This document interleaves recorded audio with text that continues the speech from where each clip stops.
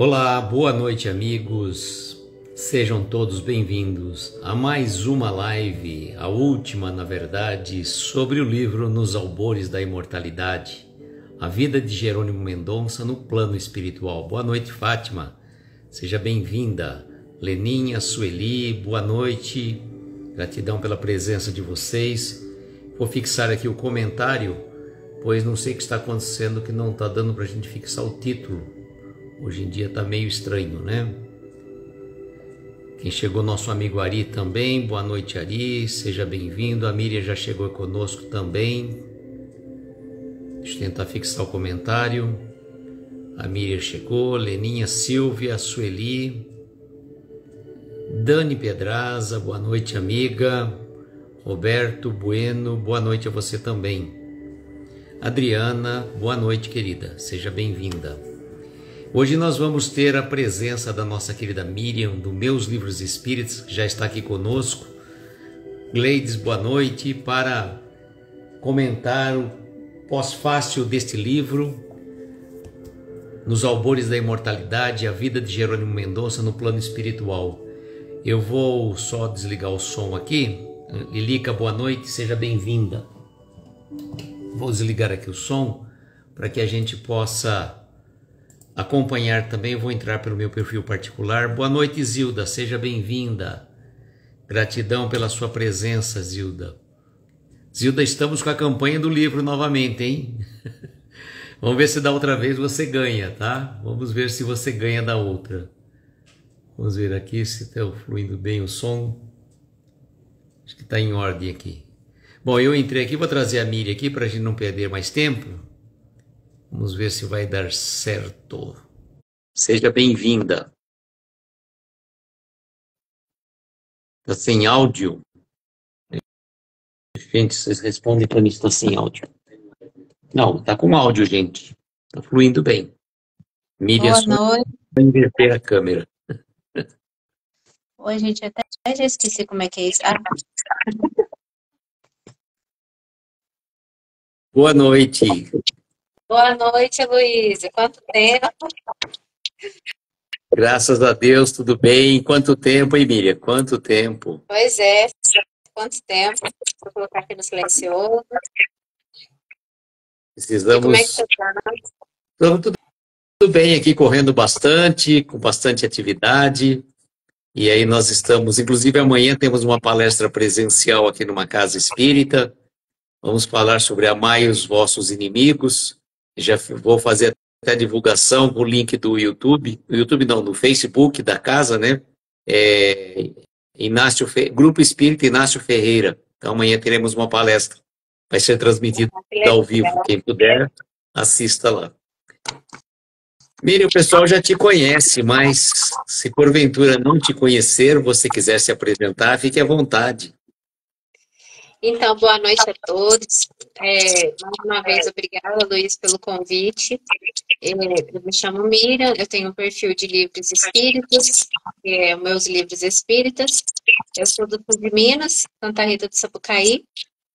E já tem uns anos que eu estou com o perfil e a gente faz a divulgação. Comecei a fazer as lives do livro e conheci muita gente bacana com isso. Só tenho a agradecer. Legal. O que, que você podia fazer de vez em quando, Miriam? Abrir uma live por mês, pelo menos, né? Que acho que isso é legal, assim.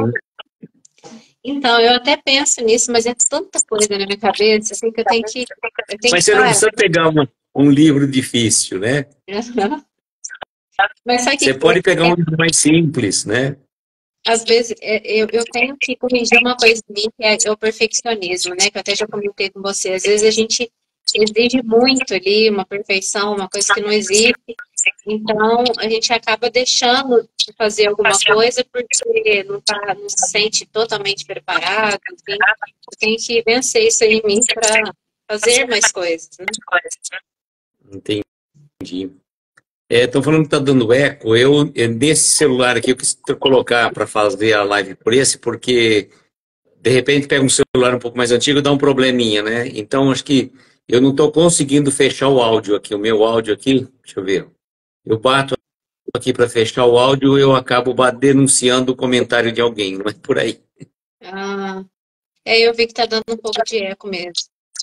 É, o ideal seria a gente estar tá fazendo com fone, mas esse celular eu não consigo.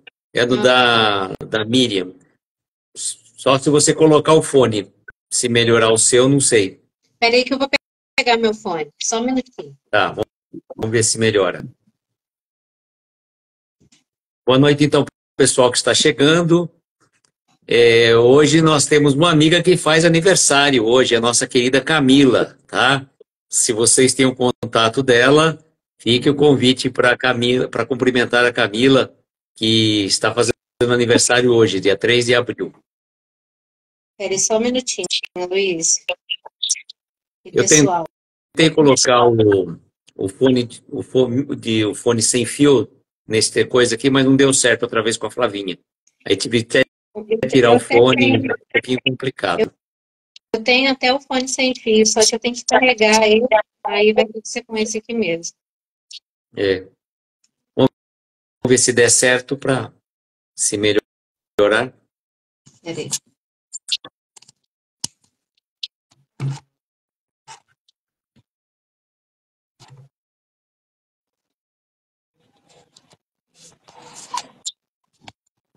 Não é terremoto, não, gente. É a Miriam que está ajustando o, celular, viu?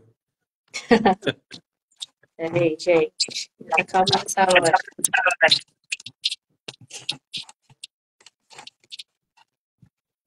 Então, hoje nós estamos finalizando este livro, tá? Nos albores da imortalidade, com a presença aqui da Miriam, que vai falar, ler para nós o pós-fácil e também fazer um, contar a história desse livro para nós, né? Que a Miriam encantou-se com ele, né? Nossa, encantei, viu? Encantei de Eu verdade. acho que agora melhorou, Miriam. Acho que deve ter melhorado. Uhum. Então, Miriam, eu gostaria de pedir que você fizesse a gentileza de ler o pós-fácil para a gente, né? Com certeza. E depois trouxesse as suas impressões desse livro. Tá. Então vamos fazer o passo fácil primeiro, porque são muitas impressões, né? O livro é esse, né? Então vamos lá. Tá dando para ouvir direitinho aí, né? Eu acredito que sim, agora. É, boa noite, querido amigo. Terminei ontem a leitura do livro. Para mim, muitas descobertas e, acima de tudo, o esforço produtivo de entrar no ambiente psíquico de um espírito como Jerônimo por quem sempre tive muita simpatia, desde os tempos de visita ao Chico, quando lá estava pelas madrugadas afora. Tenho que confessar que me foi ofertada tarefa muito grata, e por que não dizer desafiadora? Sim, Jerônimo se reescreve sob vários contextos. Sinto por várias vezes que transitei de Sacramento a Ituiutaba fazendo pousadas e tateando caminhos. Sabe, amigo, existe também um pouquinho do Jerônimo em todos nós. Experiências muito próximas, necessidades que se encontram e inesperadas vinculações com outras desvinculações. À medida que crescia o livro, revelava em mim, e isto não é fácil, grande desconforto comigo mesmo. A narrativa induz profunda ressignificação. Não há para onde correr. E ainda o texto conclama trabalho essencial de reforma. Tudo aquilo que por vezes fingimos não ser conosco. Meu Deus, quanto a melhorar. Um dos pontos cruciais do texto é o autor se colocar na primeira pessoa do plural. Isto muda tudo. Inclusão. Traz a pedagogia do Cristo para um contexto muito amplo sofrendo com nossas dores e caminhando lado a lado, fazendo-se pequeno e peregrino como mestre, assinalando comprometimento com todos os desfavorecidos do caminho. Assinalei pontos e anotações que revelam leis morais contidas nos escaninhos da profícua obra. Ainda preciso reler. E mais que isso, meditar muito sobre as leis de amor. Tenho a impressão de que muita coisa vem por aí. Possibilidades foram deflagradas. Jerônimo tem muito que precisa ser contado, para os que têm olhos de ver e ouvidos que queiram escutá-lo. Durante a leitura, por duas vezes à noite, em dias diferentes, tive sonhos que pareciam complementar tudo que lia e meditava. Muito interessante. Ficam essas primeiras impressões. E se não estiver clareando esta minha fala, posso estar muito obscura em minhas análises. E sem dúvida, abriremos outras conversas em novos encontros. A gente se fala e se encontra pelas vias do pensamento. Paz e bem. Agradecido pela oportunidade valiosa. Deus seja louvado. Tenho muito que refletir. Uma noite de paz para você. Vilmar Antônio de Castro, Mogi Mirim, São Paulo. Aí aqui tem a nota de quem que é, né? O Vilmar Antônio uhum. de Castro, que nasceu em 1964 na cidade de Monte Carmelo, aqui em Minas. É espírita, tecnólogo em radioterapia e servidor público na Universidade Estadual de Campinas, Unicamp. Que legal, né, Miriam? E é. hoje, por sinal, você fez uma postagem. e não tive tempo de responder para você, mas está aqui nesse livro, né? É, eu achei linda aquilo, é, aquela frase. Eu vou ler aqui. Eu vou ler aqui. Está na página 174, né? Jerônimo diz assim: na, na marcenaria do universo, com Jesus a nos amar, somos martelo enferrujado, precisando trabalhar. Exatamente, que legal, né? Que bonito isso daqui. E, e assim, Luiz, eu, só, eu, eu tenho que te agradecer muito, porque quando eu já, eu já tinha ouvido falar desse livro uma vez, até com um amigo tinha comentado e falou que era bom, mas não entrou muito em detalhes. E aí você vinha fazendo as lives, né, sempre mostrando o livro, mas eu com aquela mania das minhas listas, de seguir as listas, eu não... Uma hora eu vou ler esse livro. Até que você fez o convite, né? E aí entrei em contato com o Nicola, que foi um médium que psicografou o livro, e aí comecei a ler. E eu, assim, eu fiquei tão encantada, porque sabe quando você vai ler um livro e não tem muita expectativa? Não que eu achasse que ele fosse ruim, de maneira nenhuma. Só que como eu nunca tinha ouvido falar muito nele, até acho que muitas pessoas do Espiritismo não, assim, não sei se só eu, se muitas pessoas não conhecem, até porque quando eu comecei a postar ele, algumas pessoas pediram é, para entrar em contato com o Nicola para poder adquirir o livro também, porque não conheciam. Então eu comecei a ler sem, sem esperar nada, assim, né? Sem alguma expectativa. E aí eu fui vendo, assim, eu falei assim, gente, como que eu não sabia desse livro antes, que ele era tão bom? Se eu puder indicar, um livro para indicar para dar de presente, porque ele é um livro maravilhoso. Eu até falei nos comentários lá na, nos stories que ele parece muito, me fez lembrar muitos livros do André Luiz. Né? Sim. Me fez lembrar os livros do André Luiz e também um pouco de uma obra do Ernesto Bozano que fala, é a crise da morte, que fala como que é o processo de desencarnação, né? Aí, só que aqui ele contou especificamente do processo de desencarnação dele, é muito interessante. E, e aí eu posso continuar falando do livro? Você pode, pode sim. Então, ele é um livro que ele é dividido em 37 capítulos. Uma característica muito legal do livro é que os capítulos são curtinhos, então você consegue terminar rápido, fechar aquele assunto rápido e, e já fica curiosa para começar no próximo capítulo. Aqui ele vai narrar desde o momento que ele começou a sentir alguma coisa diferente, quando ainda estava reencarnado, como se ele já estivesse pressentindo que a desencarnação dele estivesse próxima. E aí, logo em seguida, ele mostrando, né, é, é, quando ele desencarnou, a equipe que foi buscá-lo, que é a equipe de um médico muito famoso, né, conhecidíssimo do meio espírita, que é o Dr. Bezerra de Menezes, contando contando para gente como que foi o seu desligamento, como que ele chegou no plano espiritual, para qual colônia. Eu não vou entrar em detalhes, porque eu gosto muito de deixar as pessoas curiosas para ler, porque aqui tem muitas surpresas, então se eu contar vai perder a graça. Mas em linhas gerais, né, ele chegando no plano espiritual, indo para uma colônia específica, de um apóstolo do Cristo também, que é uma pessoa muito conhecida também no meio espírita, um espírito de altíssima envergadura espiritual, para poder passar para um tratamento, porque como nós sabemos, o Jerônimo Mendonça, ele era o gigante deitado, porque ele não, ele era tetraplégico, né? Então, é, ele precisava passar por tratamentos específicos, né, no perispírito, para poder voltar à normalidade depois de desencarnar, porque ele já teria passado pela expiação necessária da dor, né, de da falta da movimentação, de toda aquela restrição que ele passava.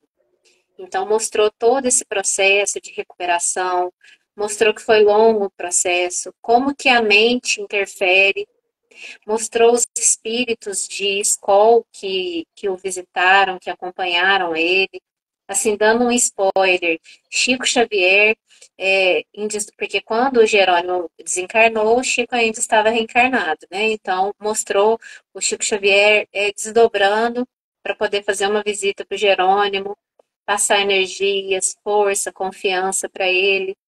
Então, um momento muito bacana, né? E, e, o Jerônimo falando do Chico também é, é bastante emocionante, é, é muito legal. E aí vai mostrando as experiências que ele vai tendo ao longo do tempo ali no plano espiritual. A colônia que ele vai a princípio, depois que ele passa pelo tratamento para outra colônia que ele vai, que tem a ver com a região que ele mora, que é Ituiutaba. E, e mostra também uma outra colônia que é próxima, que chama Colônia Verde. Ele vai para a colônia Alvorada Nova, né? E também comenta para a gente da Colônia Verde comenta de um, um caso muito interessante de um espírita que teve as oportunidades todas que todos nós espíritas temos da reforma íntima e que infelizmente como muitas pessoas e a gente tem que ter cuidado até o final para não cair nesse nesse erro que é desviar do caminho, né? Então às vezes o mundo é muito mais atrativo, aí no caso desse amigo do Jerônimo, chamado Gervásio, ele desviou porque ele priorizou as facilidades materiais, levou muitas pessoas ao sofrimento, e aí narra todo o histórico dele, desde antes dele ser Gervásio, né? Mostra toda a equipe espiritual que está por trás ali, todo o pessoal que ele conheceu, que ele prejudicou, né? Muito interessante. Deixa eu ver aqui mais um ponto que. E o resgate de Nestor? Nossa, é. O que é mais engraçado é que tudo que, que, que, narra nesse livro aqui, por isso que eu acho que poderia ser uma série dele contando, tipo André Luiz, as experiências dele. Porque tudo que acontece no livro tem uma ligação com ele mesmo, na vida dele, né? Então, é, o primeiro resgate que ele fez, foi o primeiro trabalho, depois que ele já tinha melhorado e tudo, ele foi fazer, não completamente, né? Ele não tinha, ainda faltava alguma coisinha ali para ele se recuperar 100%. E aí, é, os amigos espirituais que estavam acompanhando levaram ele para prestar, prestar um socorro numa zona umbralina bastante pesada, né? E aí, que me lembra foram... a, do filme Nosso Lar 2 quando o Aniceto desce, né? É, para buscar o, o, Otávio, né? O Otávio. Me lembrou bem então, aquela é. cena. Assim. Lembrou bem aquela cena. Não tem como você achar. É, é, é bem parecido mesmo. Eu acho que uma, essas obras só confirmam né, a veracidade de, dessa vida estuante né, no mundo espiritual. E aí mostra ele, ele chegando lá junto com os amigos dele, inclusive a Sheila, né? É, Sheila, não. É a Sheila? Agora esqueci. Não, é, é a, Sheila. É a Sheila, é. É. a Sheila está sempre ali junto com ele, tudo. Então, mostrando ele junto, indo fazer o resgate do, do Gervásio, né? Do Gervásio, não, do Nestor. E Nestor. depois mostrando, é, do Nestor, depois mostrando quem que é o Nestor, né? Ali do grupo espiritual que tinha ligação com ele. E é muito interessante. Uma outra coisa que eu também achei muito interessante, Luiz, é, depois eu até vou rever, você salva suas lives é, referentes a esse livro, né? Você tem no YouTube também. Sim, estão todos lá no tanto no meu canal do YouTube como no próprio feed do Instagram. Depois eu vou até divulgar, porque eu vou, quero ver todas. né? Porque acredito que você tenha aprofundado mais. É um livro que, que eu vou ter que ler também. Mas uma coisa que eu achei também bastante interessante é como que, que tudo tudo ali está interligado com a vida dele, as pessoas, e tudo tem a ver com questões do passado. Inclusive, ele ter vindo com todas aquelas limitações, as expiações dele, tem a ver com as vidas passadas, as coisas que ele fez, claro, obviamente. E aqui no livro mostra quem que ele foi, né? E, e eu até já fui ver se eu tinha esse, os livros que, que narram quem que ele foi em vida passada, e a minha mãe tem, que é o romance de uma rainha, eu... né? Flavinha leu recentemente ela ficou assim, estarrecida. Com as eu coisas não li que... o livro. Não, eu vou. Com as coisas que acontecem ali. Então. É, narra... é meio pesado ali, viu? É meio pesado, né? Mas eu, eu, fico imaginando o que, que a gente já não fez, né, Luiz? Nossa! Exatamente, né? A gente se acha um anjinho, né? A gente se acha Nossa, um anjinho, gente... né? Porque assim, se você for, for para trás na história, não tinha ninguém bonzinho.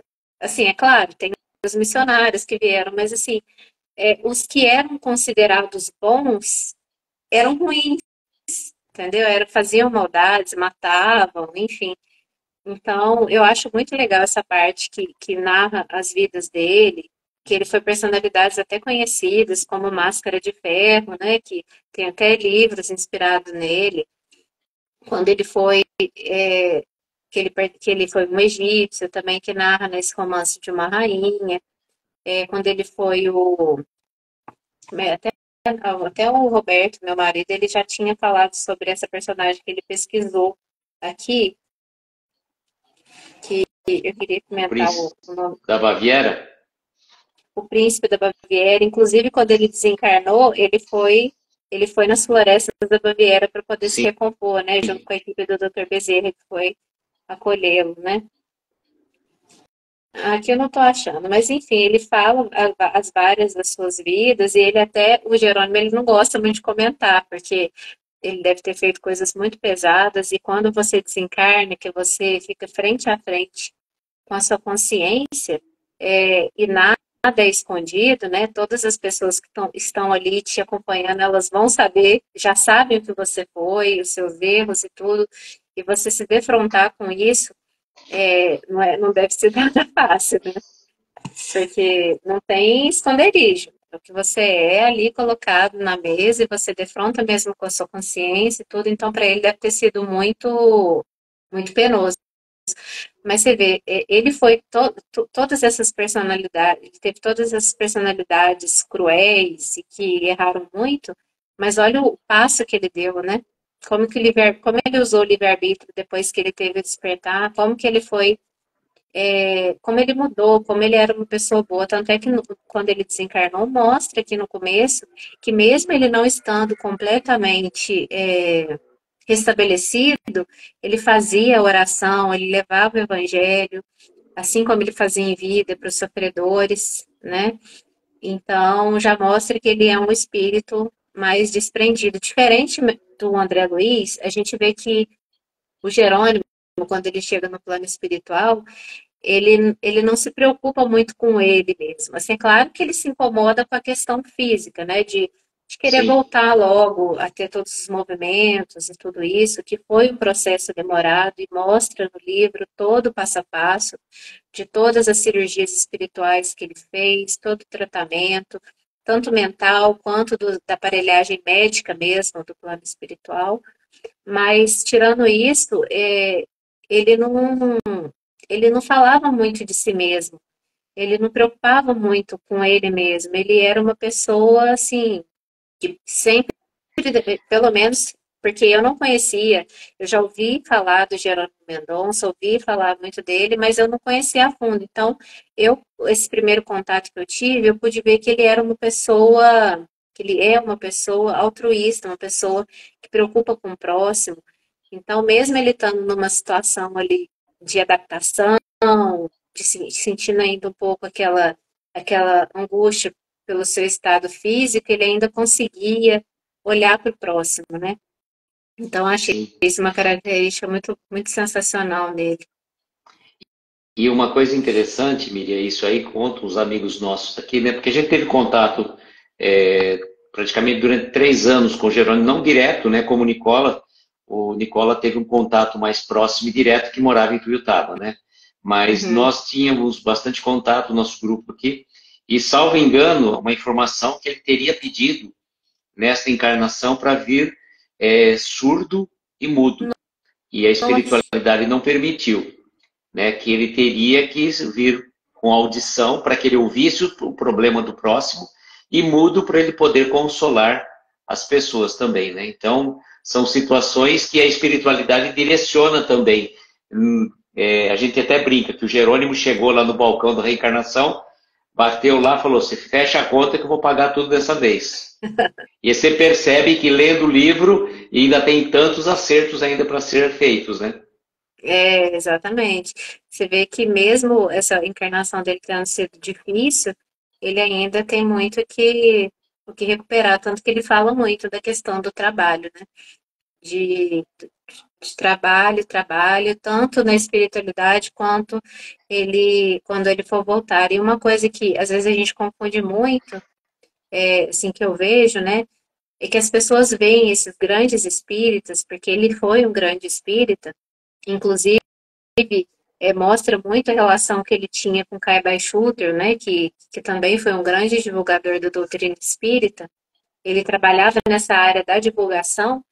É, às, vezes, a gente vê esses grandes espíritos e a gente acha assim que a pessoa já está livre de, de resgates, de expiações, né?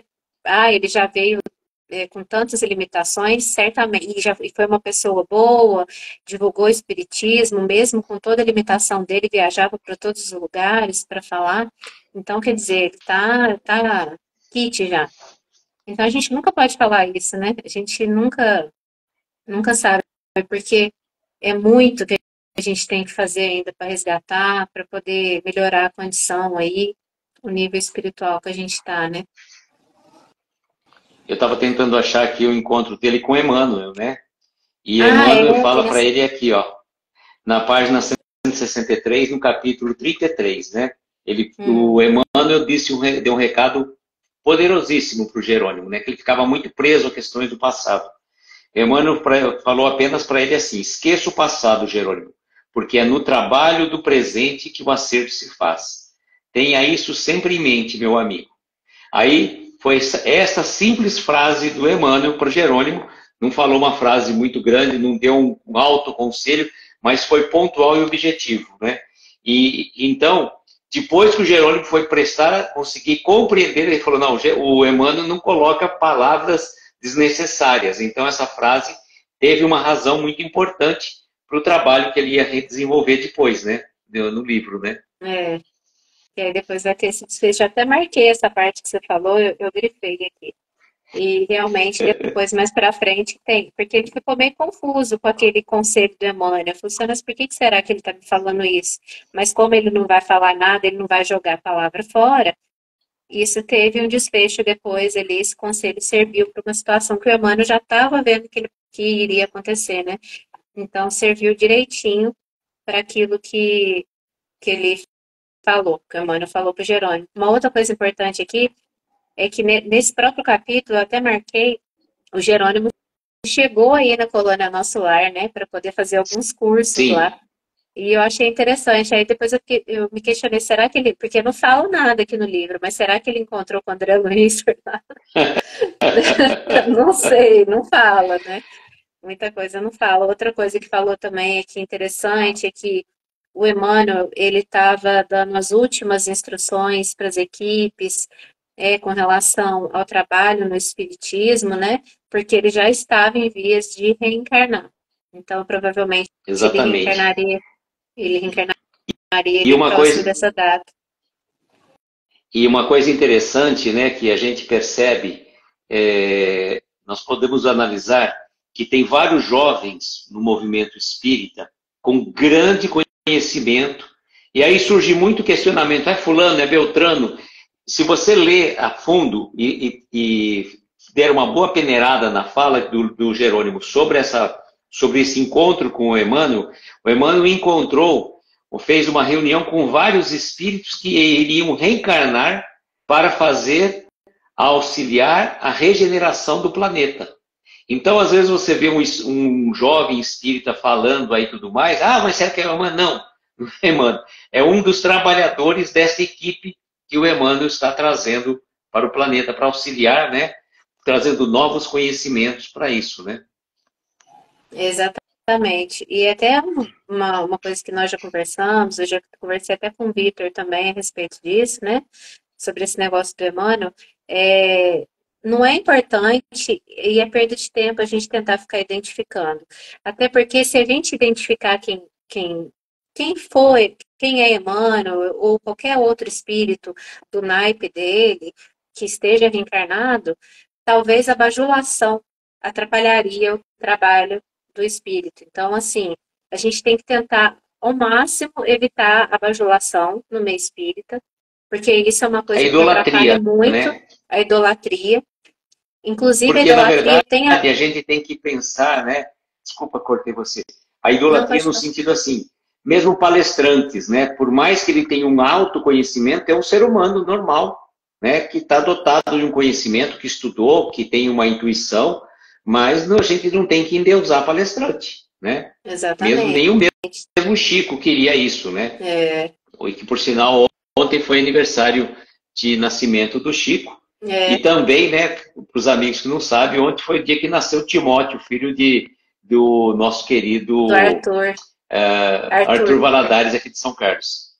É, eu vi mesmo, o pessoal estava comentando essa, essa coincidência das datas. Mas é verdade, assim, porque é uma tendência do ser humano ele, eleger é, alguém para cultuar, né? Então, a gente tem que evitar isso ao máximo. Não estou falando para desprezar ninguém, nós devemos tratar todos com respeito, com carinho, mas pensar também que a bajulação pode, porque o orgulho, para nós que estamos aqui na Terra, não é um ponto superado né? Então, é, a gente sempre tem que estar atento, a gente sempre tem que ter cuidado com esse ponto do orgulho, do egoísmo, que ainda fazem parte da, da nossa personalidade. Então, talvez você não, não esteja orgulhoso em determinado momento, mas talvez se você comece a sobressair, aparecer mais fazendo palestra e as pessoas começarem a te bajular muito, isso pode fazer aflorar em você o seu orgulho, que não foi esperado, e isso pode prejudicar a sua tarefa. Então, que a gente não seja o gatilho de ninguém né, nesse sentido. Exato. Então, que a gente evite de ficar procurando mesmo quem que é quem, e, e, faça a nossa parte, estude, veja as boas palestras, mas sem entrar muito aí nesse mérito que não acrescenta em nada, né? Na é, que a gente, gente, fala, né? Que quem tem que ter seguidor, embora a gente agradece as pessoas que nos acompanham nas lives, né, nos nossos perfis, mas quem tem que ter seguidor é Jesus, né? A gente é mero instrumento. Exatamente. Empresta a nossa voz, a nossa fala, um pouquinho do nosso conhecimento, ainda muito mesquinho, né? muito pequeno, né? Pequeno conhecimento. A gente não, a gente, aquilo que eu costumo sempre dizer, falar do Evangelho é fácil, falar de Jesus é fácil. Agora, viver o Evangelho, viver os ensinos de Jesus, que é a grande dificuldade no nosso dia a dia, né? Aqui, enquanto a gente está fazendo live, a gente é a coisa mais linda, maravilhosa do mundo. Mas no dia a dia, né, a gente tem muitas arestas a ser aparadas, né? Exatamente. Nossa, como que às vezes é, uma oscilação hormonal, por exemplo, principalmente nós mulheres, é, já altera o nosso humor, sabe? Já faz a gente, às vezes, alterar a voz, a, com, com, a convivência mesmo, às vezes a gente fica mais irritado. Então, como que é difícil controlar isso? Não é fácil. Então, a gente tem muita coisa que a gente tem que, que focar na gente mesmo e ver que tudo que aquilo que a gente está lendo primeiramente serve para a gente, por mais que a gente compartilhe primeiramente, serve para a gente que a gente consiga colocar em prática, porque não é fácil mesmo, né, o, o, o Luiz? É, como a Solange está dizendo, é muito difícil realmente a gente conseguir é, superar a, é, as, as más inclinações que nós trazemos ainda. Quando você vê uma notícia de uma situação você acaba tendo um lado, você vai torcer para um lado ou torcer para o outro. Você já está, né, já não está sendo caridoso. Se nós somos todos irmãos, você não tem que ter lado. É. Né? Você vê como é que Aí você vê uma coisa longe. que te revolta, né? Que você falou, desculpa. Você vê como é que a gente ainda está longe, né, de alcançar sim, um sentimento mais sim. puro. Aí a gente vê uma cena estarrecedora numa situação de trânsito e fala, eu, pelo amor de Deus, que animalesco. Mas se você tivesse lá, será que você não faria pior às vezes? É. Exatamente. Então é, é fácil julgar o outro quando você está fora da situação, né? Agora joga você na fogueira lá para você ver se não queima. E aí como é que você vai reagir a, frente às situações? Isso é uma coisa que eu falo com que a gente vai falando isso e vai tentando interiorizar aquilo que a gente fala. Porque não é de fácil, não, é bem trabalhoso.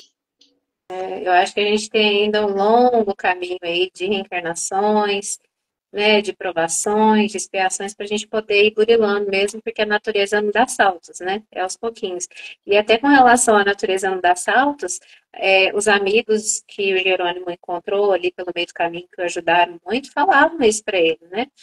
Que a recuperação dele seria lenta por conta de todo o passado que ele tinha que burilar, né? Então, até a nossa mente, é, por exemplo, se a gente tem um problema físico, quando a gente desencarna, é, até mesmo para a gente conseguir despojar e separar que o problema é do corpo físico e não mais do perispírito, leva um longo tempo, porque você já está aquela vida, você passou aquela vida com aquele problema. Então, você chegar do outro lado e falar assim, não, isso aqui é um problema do corpo físico, não, já superei e tudo. Então, porque às vezes as pessoas pensam que por Jerônimo ser uma boa pessoa, já está ser um bom trabalhador, ele chegaria do outro lado e já se despojaria de todo o seu problema físico, mas não foi assim. E, e foi até. É, a única, assim, a única coisa que ele conseguiu, né, de plano, foi, foi a visão, né? Porque a visão não foi uma questão de resgate, né? Não, não estava comprometida no organismo, no, no seu corpo perispiritual. É. é interessante isso, né? Então, esse e... livro é inter... Pode falar, desculpa. Não, não, pode falar. Então, é esse, e esse livro, por isso que eu gostei tanto desse livro, porque cada ponto ele explica, então ele não é um livro superficial. Embora ele seja um livro fininho, porque ele é bem fininho, né? São 37 Sim. capítulos, como eu disse, bem curtinhos cada capítulo. É, ele é um livro que ele aprofunda em algumas coisas, não assim muito, mas ele aprofunda nas questões que ele toca. Então ele não fala assim, ah, é uma questão do perispírito, não, ele vai explicar o porquê, né? Fala a questão do perispírito, do pensamento, né? Das expiações, é, de todo o processo. Então, eu achei assim que é um, ele é um livro riquíssimo mesmo. Porque além dele na Até do pensamento. Ele... Hum. Até do pensamento, lembra naquela fase já? Ele já estava ajudando, trabalhando com um determinado momento. Ele entrou em sintonia com algumas energias um pouco mais densas e ele já praticamente caiu, né? É precisou ser amparado pelos enfermeiros, demorou uns dois, três dias para ele conseguir se reequilibrar novamente, porque ele entrou em sintonia com espíritos que estavam em caráter de perseguição a ele, né? É, eu achei essa parte também bastante interessante. E porque você vê, né? Me lembrou também uma parte que não tem no livro Nosso Lar, mas que tem no filme, quando o André Luiz ficou muito irado, quando ele chegou na casa dele, viu a esposa com outro, que imediatamente ele voltou para o umbral, né? Isso não tem no livro, mas eles colocaram no filme e realmente é uma coisa que, que acontece, porque a gente, o mundo espiritual o mundo das vibrações, né? Das sintonias. Então, o pensamento ele é muito mais rápido. Embora nós temos o pensamento seja criador, a nossa matéria é um, vamos dizer, um empecilho ainda, né? A gente não consegue cocriar tão facilmente quanto como quando a gente está em espírito, que é tudo muito mais rápido. Então, você vê, ele só de ter mudado a sintonia é, de alguma coisa, ter sentido um pouquinho, ele já sentiu todo aquele mal-estar, precisou, ficou desesperado, foi o momento que ele ficou desesperado, né? Porque que ele não estava entendendo, já tinha passado, ele já estava lá três anos, né? Por que, que ia acontecer aquilo naquele momento com ele? Então, o Caio Bachuto, né, que estava com ele, explicou direitinho o que, que tinha acontecido, né, logo depois do socorro, e ele precisou realmente dos três dias para recuperar. Então, para a gente ver como é que o pensamento aqui já muda muito, mas imagina do lado de lá, né? Isso é, a vigilância e oração sempre, né? Sempre em todos os planos. É, e você exatamente. falou uma coisa, Miri, que eu estava lembrando, né? Que o espírito, às vezes, ele demora para tomar consciência do plano espiritual, é, que realmente, né? Tem estágio de perturbação, que não sabe exatamente onde ele está, somente se ele desencarnou, às vezes, numa, numa UTI de hospital, até que ele tome consciência onde ele está realmente. E a gente vê muito essas questões, eu não participo de reuniões mediúnicas, mas a gente ouve muito falar que às vezes o espírito chega numa reunião mediúnica com sede, né, com fome, e ele não tem mais o corpo físico, né, ou com alguma dor né, muito forte em determinado organismo né, que, ela, que ele sofreu, como se aquilo fosse muito real para ele, né? É, eu já participei de reunião mediúnica e, e, isso acontece muito, porque principalmente na casa que que eu frequento aqui, é, a, gente, a reunião mediúnica lá era como se fosse um pronto-socorro mesmo, né? Então chegavam suicidas, né, que extremamente decepcionados porque não, a vida continuou e eles ainda estavam todos sentindo tudo aquilo que o ato, pelo qual o ato suicídio foi feito, então muito triste. Mas uma coisa que, que eu lembro muito foi é, uma pessoa que eu não lembro se esse caso foi por suicídio, ou se a pessoa estava já doente, eu não sei como é que foi, que vomitou. E o médico, o médium fez toda aquela, né, aquela, aquele movimento da pessoa que está é, vomitando. E eu, eu pude sentir o cheiro, porque eu sinto cheiros, assim. Então, é, você vê como é que é real. E uma coisa que fala aqui, eu até tinha, tinha salvado, é, aqui, ó, eu até salvei aqui, gostaria de ler. Ó, engraçado, isso Jerônimo falando. Engraçado quem pensa encontrar um mundo etéreo e vago, logo ao desencarnar, irá, irá se decepcionar. Não fosse a compreensão espírita e julgaríamos continuar existindo em planos materiais. Então, assim, tem muita gente que desencarna que não sabe e que aí continua sentindo fome, continua sentindo sede, continua sentindo dores, né? Então, Exato. a vida continua e mesmo. Eu, eu lembrei antes. até uma questão muito interessante, Miriam, que você colocou da reunião mediúnica, por que, as pessoas às vezes falam assim, não, mas por que, que não pode, tem que fazer uma alimentação leve, né? Uma alimentação frugal antes da reunião? Por justamente por uma questão dessa, né?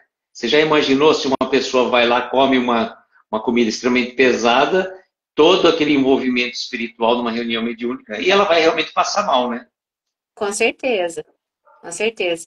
E, e tem, e, não que ela esteja aí em jejum absoluto, né? Ela tem que não. comer alguma coisa também para não passar mal também. É. Mas não é para comer uma feijoada e para reunião mediúnica, né? É, tudo é o equilíbrio, né? Tem um livrinho do André Luiz, é, que chama Desobsessão, que é um guia Sim. completo para quem frequenta a reunião mediúnica. E ele fala exatamente disso, fala da alimentação, que tem que ser uma alimentação mais leve, da questão dos pensamentos, né?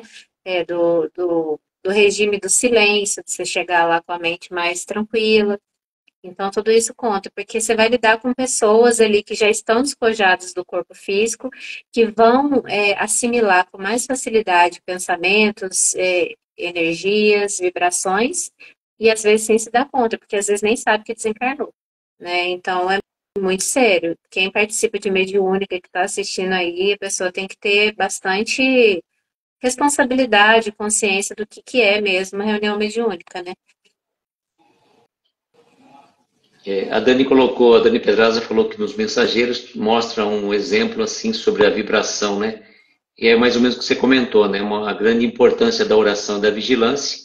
E ela coloca também que ainda oscilamos muito, temos dificuldade em manter a nossa vibração né, pelas intempéries do dia a dia. Exatamente. Isso é uma coisa a gente coloca, né? A vigilância e oração não é para ficar dentro do evangelho, é constante na nossa, nos nossos relacionamentos, na fila do caixa, do supermercado, do banco, né? no trânsito, sobretudo, né? Você tem que estar atento para você não entrar em, em uma zona cinzenta aí depois levar tempo para você conseguir se reequilibrar, né? Exatamente.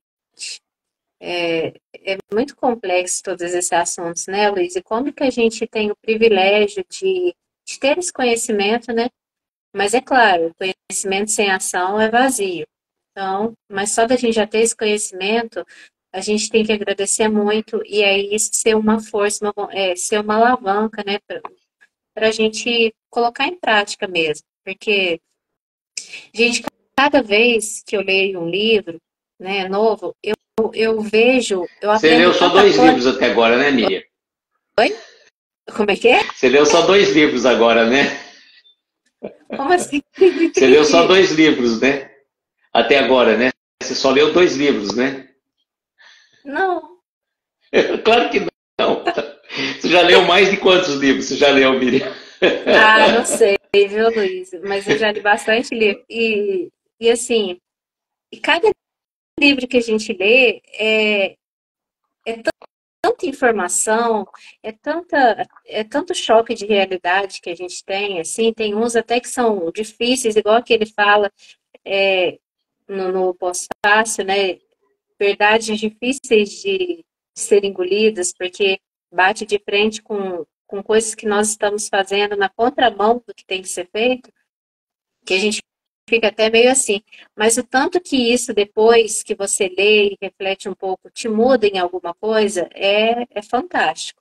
Eu não estou falando que eu, assim, com relação aos livros que eu já li e o que eu sou hoje, eu posso dizer que eu mudei bem pouquinho, porque eu posso, eu podia ter mudado muito mais.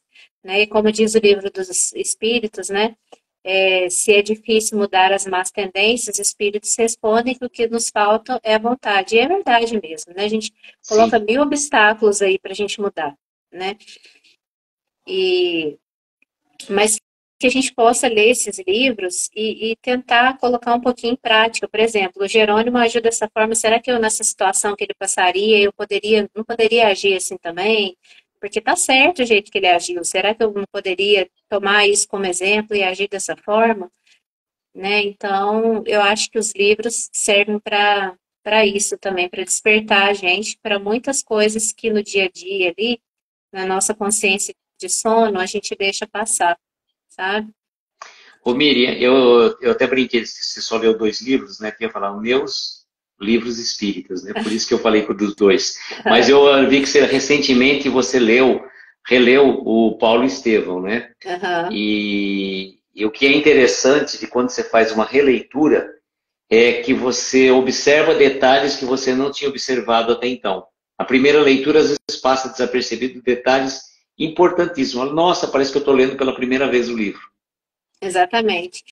E eu até tenho a resenha desse livro é, no meu perfil, né, mais para baixo, assim, e eu vou fazer uma nova resenha sem ver essa primeira, porque aí depois que, eu, que, que ela estiver pronta, aí eu vou comparar. Porque também Exato. porque o que, que acontece? A primeira leitura que eu fiz foi em 2017. E, e de 2017 para cá, acho que 2017 eu era mais matura.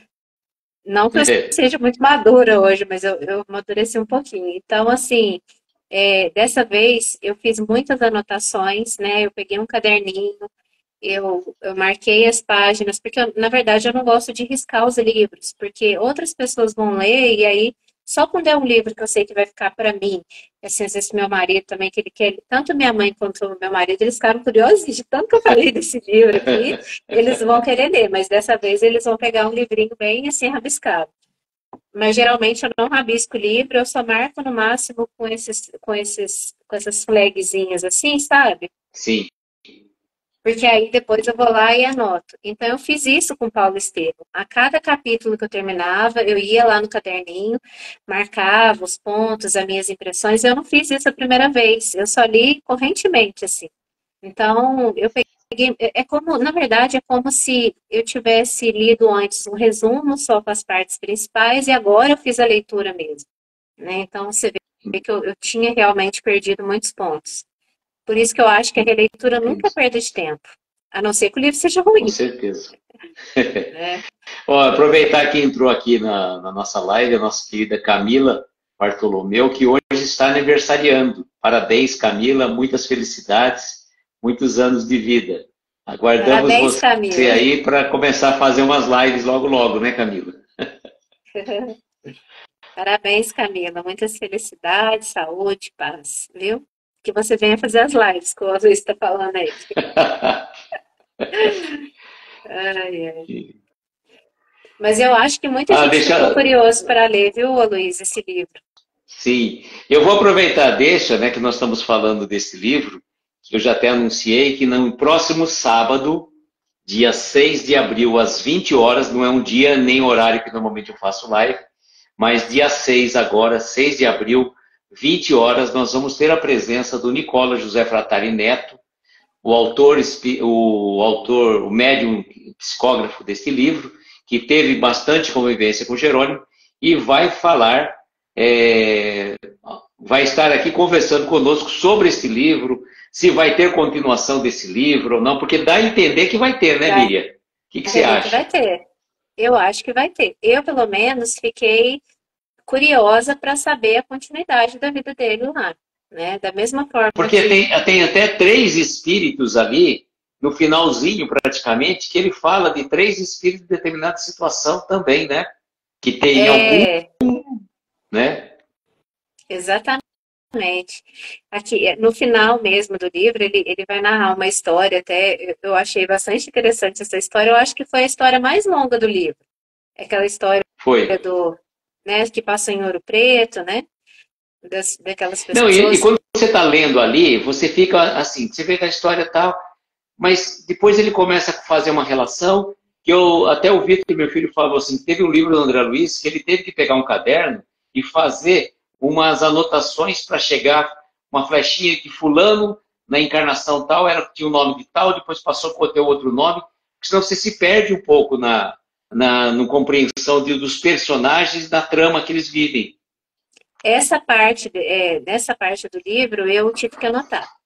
Porque chegou uma hora até que eu voltei e falei assim, mas peraí, quem que é quem aqui nessa história? Né? Aí eu fiz essa anotação, porque realmente tem essa profundidade, né? Porque envolve pessoas que desencarnaram, reencarnaram, outras que estavam desencarnadas, obsidiando quem estava encarnado e que estava muito tempo desencarnado, né? Desde o século XVIII e não perdoava e, e por não perdoar perseguia sua vítima ali e atrasava sua vida e prejudicava, né? Quem, ele, quem ela perseguia. Então, é, esse ponto eu tive que fazer umas anotações ali, umas ligações para ver quem que era quem, mas aí depois dá aquele desfecho, né? Mostrando que o Jerônimo estava tá, relacionado com todas aquelas personagens. Isso que é o mais interessante, porque quando vai contando assim, durante todos esses capítulos que foram os mais longos, é, dá a entender que o Jerônimo era apenas amigo de um deles lá, né?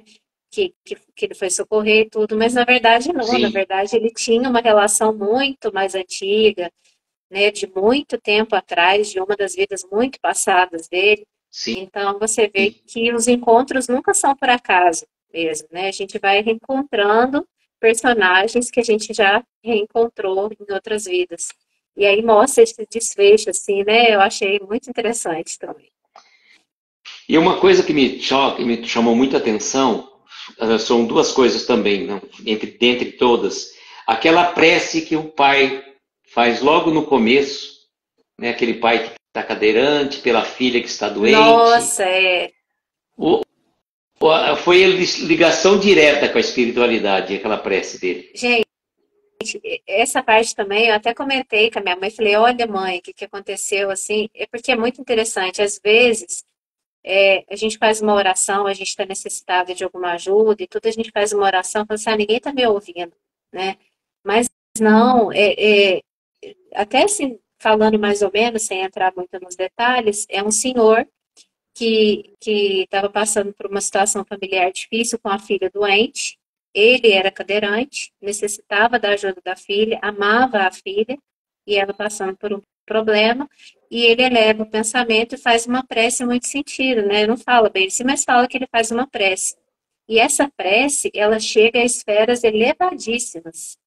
Aí essas esferas elevadíssimas vão passar o recado, vamos dizer assim, para as esferas mais próximas da Terra, é, avisando que, que, que, era preciso ser feito, mandando aqueles missionários, né, os benfeitores mais próximos à Terra, para poder trabalhar em cima daquela, daquela questão, daquela, daquele pedido. Então, nenhuma prece fica sem ser atendida, né? Ele fez a oração e a espiritualidade se movimentou de uma forma assim que eles nem imaginavam, né? E as coisas foram se resolvendo ali. Então, e, e me fez lembrar um livro do Manuel Filomeno de Miranda, que eu não sei se foi Entre a Terra e o Céu, eu acho que foi Entre a Terra e o Céu, porque é um, é, tem dois livros dele que falam de uma época referente ao carnaval. E aí eles estavam no Rio de Janeiro, e aí, como o, o carnaval é um momento de, que a gente sabe, é, de, que baixa mesmo a energia vibratória do planeta, né? Principalmente das cidades que são mais carnavalescas, eles montaram, a espiritualidade montou uma, uma plataforma provisória ali no Rio, em determinado local, e uma dessas partes, um setor específico, era responsável por captar as, as preces que chegavam à espiritualidade superior eram enviadas pelo sistema de comunicação deles para essa esfera mais próxima à Terra, e aí dali saíam os espíritos para socorrer aquelas pessoas que estavam pedindo socorro. Então, é um trabalho muito interessante isso, né? Eu achei bem legal que apareceu isso aqui também. É um livro muito complexo. O Davi está dizendo que seria o Nas, Nas Fronteiras, fronteiras da Loucura. Da loucura isso. É isso mesmo. As Fronteiras da Loucura. É, no, inclusive os livros do Manuel Filomeno de Miranda, do André Luiz, são tudo, são tudo mais ou menos no estilo que, que é esse livro aqui. Por isso que eu acho que tem que ter continuação. Porque eu é. acredito Ô, que o Jerônimo eu tem muito outra... que falar. tem uma outra questão também que, que toca bastante a gente, é quando aquele casal, né, que a gente não, não lembra o nome deles agora, que eles perdem o filho, recém, novinho, né, e na condição de bebê no plano espiritual, e a mãe fica muito sentida. E as, os pensamentos né, de sofrimento da mãe, como atrapalha o, a, a reorganização daquela criança. João Carlos, né? O, o bebê. João Carlos, é. sim. É, é. O pai, então, eu não lembro, acho que é Deir, Adélia e Adeir, acho que é, se não me engano. Adélia e Adeir, é isso mesmo. É para é. você ver, né? E até mesmo, e isso tem ligação até com o que aconteceu no desencarne do Jerônimo Mendonça, que fique um alerta para gente também. É, quando alguém desencarna, alguém querido, por mais difícil que seja, porque tem gente que pensa que pelo fato de sermos espíritas, a gente não sofre. Hum. Mas a gente sofre sim, e a gente sofre muito, porque a partir do momento que a pessoa desencarna, se você não é médium e se você não vai receber mensagem da pessoa, é um corte de comunicação, de convivência, mesmo que temporário, que é dolorido. Você está acostumado a ver a pessoa ali sempre, uma pessoa que você ama, a pessoa desencarna. E aí você não vai ver por, por um determinado longo ou curto período de tempo. Então você sofre. Só que a importância da gente crer em Deus, que é uma situação temporária, e ter cuidado nos nossos, nas emissões dos nossos pensamentos para essa pessoa. Porque tanto no momento que ela desencarna, quanto no momento que ela já está no plano espiritual, dependendo dos seus pensamentos de sofrimento, de revolta, de tristeza, aquela pessoa vai sentir aquilo diretamente. E nesse caso que você está falando desse casal que perdeu o filho jovem, pequenininho, né? Criança, é, ele, ele não conseguia ficar bem, ele ficava impertinente, choroso, doentinho, porque as emissões de revolta dos pais era muito grande e isso atingia diretamente ele. E isso acontece. E, inclusive, no, no o Jerônimo Mendonça narra, que eu achei até interessante, que logo que ele desencarnou, é, ele tentou ajudar alguns familiares dele, assim como ajudou alguns amigos, né? Que, que ele gostava, pessoas que ele tinha contato, mas que para alguns familiares mais próximos, ele teve grande dificuldade em ajudar, alguns ele nem conseguiu ajudar, é, instigando bons pensamentos e tudo, por conta da barreira de revolta e de tristeza no luto que eles estavam. Então, quando a gente. Os próprios familiares do Jerônimo os próprios familiares dele. Então, quando a gente estiver num velório, ou quando já passou... É, tem, uma questão no velório. Comenta um pouquinho do que, que aconteceu ali, as energias do velório do Jerônimo, né, que precisavam às vezes. Coloca alguma coisa, aproveita e deixa.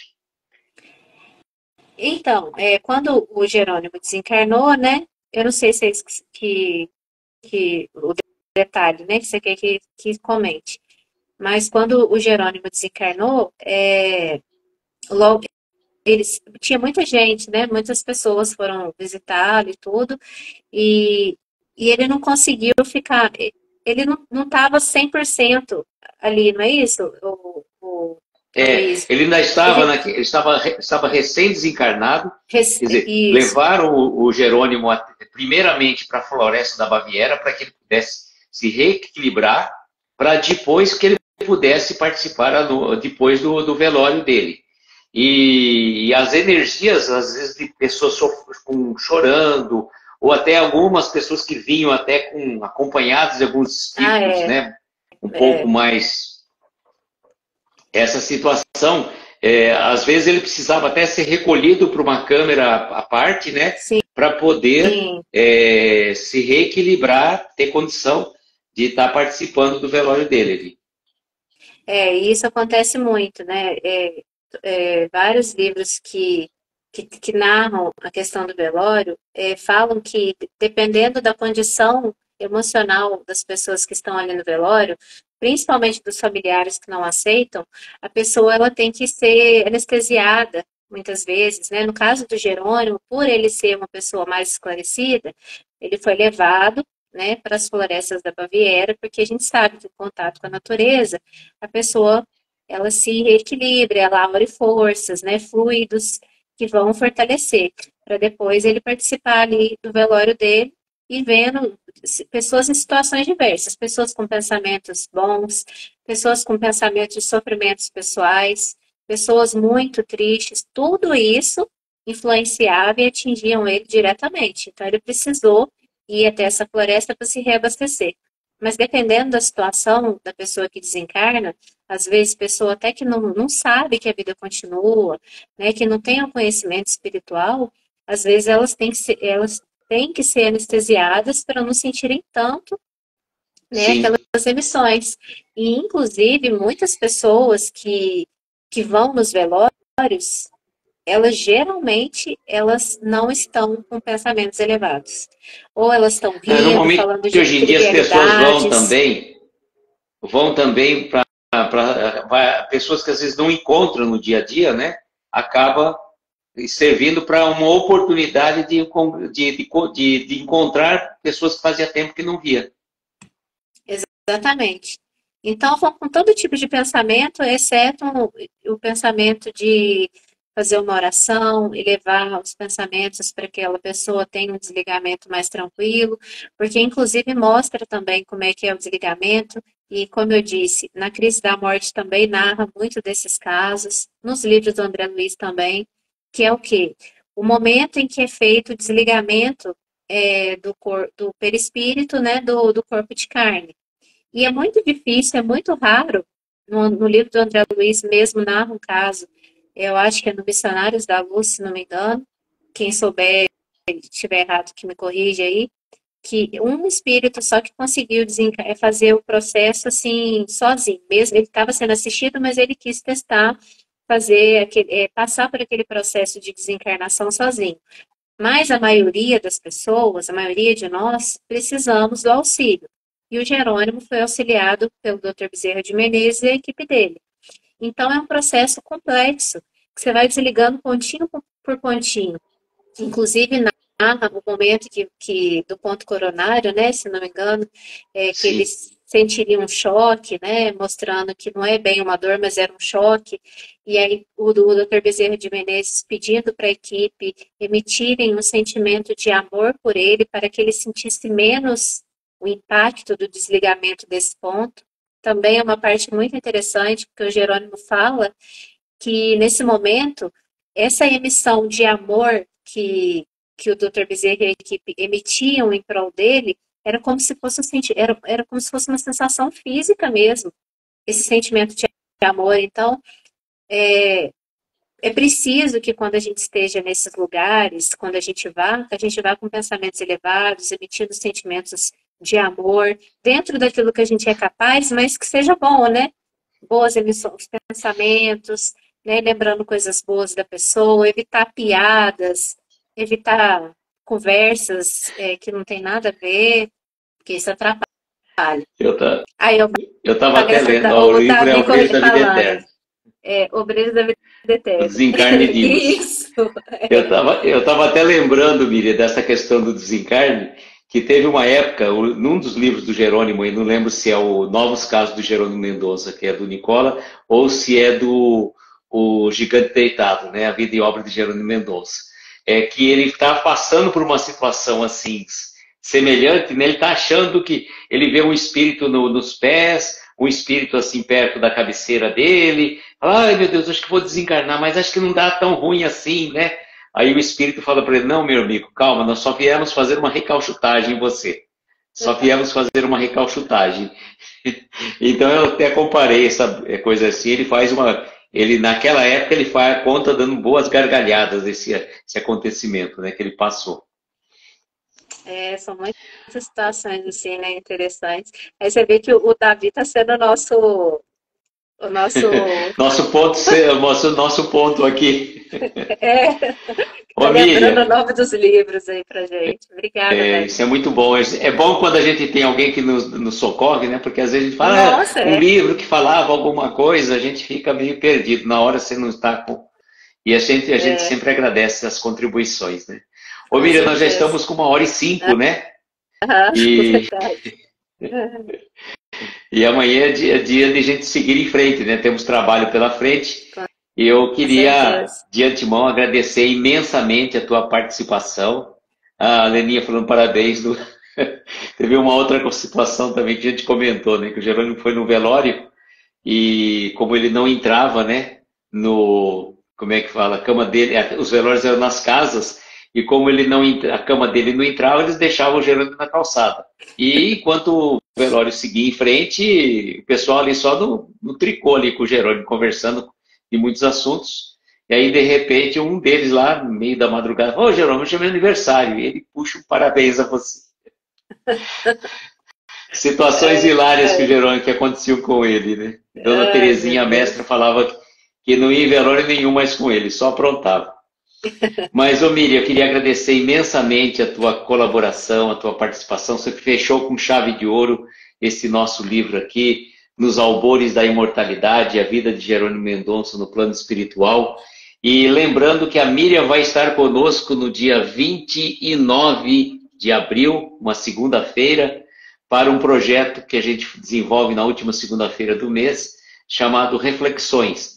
A Miriam não escolheu o tema ainda, mas Aí a Miriam vai estar de volta conosco dia 29 de abril, uma segunda-feira, às 22 horas, para bater um papo aí sobre um tema diferente dos livros, né? Mas é um tema único. Nós já tivemos auto-amor, nós já tivemos solidão, amizade, é, virtudes, e o último que nós tivemos foi. E agora esqueci o último. Ah, perdão. Nós tivemos o perdão com a Flavinha. Então, fica aí o convite para estarem conosco dia 29. A Mira está de volta conosco aí. E lembrando que o Nicola vai estar conosco agora no próximo sábado, 20 horas. E vocês podem fazer perguntas aqui, que eu vou passando as perguntas para o Nicola.